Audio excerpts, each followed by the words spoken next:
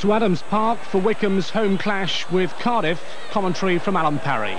He looks Wycombe's most dangerous player at the moment, Mickey Bell. Chipping it in towards the far post. Brown getting up well, and the header by Ryan! Wycombe take the lead! Thompson playing it long. Hemmings will chase this all the way. He's got uh, terrific pace, and he's done brilliantly. Hemmings must score. Oh, that's a marvellous goal by Tony Hemmings.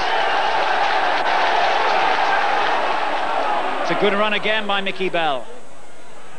Oh, excellent play.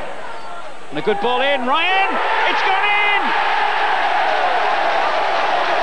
Two goals in a minute. And Wycombe are 3-0 in front.